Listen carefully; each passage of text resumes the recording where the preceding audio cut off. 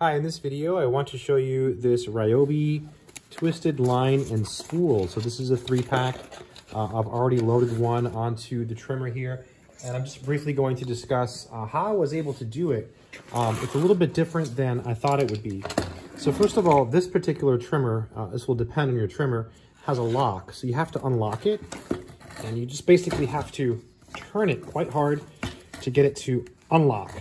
Okay, so if you unlock it, um, it does that, okay? And then what I did was, is I took this out and I ran the string through this little hole here and also um, through the other little hole over here. And I pulled equal length on both sides.